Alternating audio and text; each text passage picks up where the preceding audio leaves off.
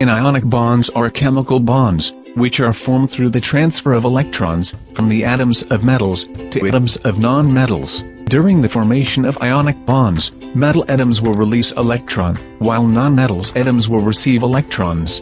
Here are several example, a formation of ionic bond, formation of sodium chloride, NaCl. The electron arrangement of a sodium atom is 2.8.1. The electron arrangement of chlorine atom is 2.8.7. Sodium atom releases one electron to form positively charged sodium ion. Sodium ion achieves a stable electron arrangement 2.8.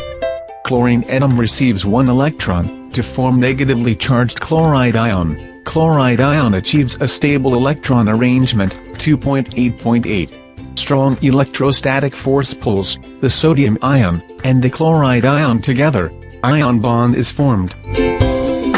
Next, formation of magnesium oxide, MgO. The electron arrangement of a magnesium atom is 2.8.2. The electron arrangement of oxygen atom is 2.6. Magnesium atom donates two electrons to form magnesium ion, positively charged. Magnesium ion achieves a stable electron arrangement 2.8.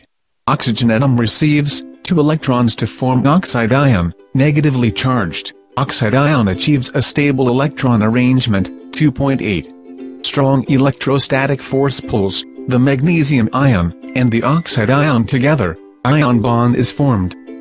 Next, the electron arrangement of a sodium atom is 2.8.1. The electron arrangement of oxygen atom is 2.6. During the formation of ionic compound sodium oxide, each atom from the two sodium atoms transfer one electron from the outermost shell to one oxygen atom, so that both can achieve a stable electron arrangement. Sodium ion and oxide ion, which are formed pulled together by the strong electrostatic force, produce a sodium oxide compound.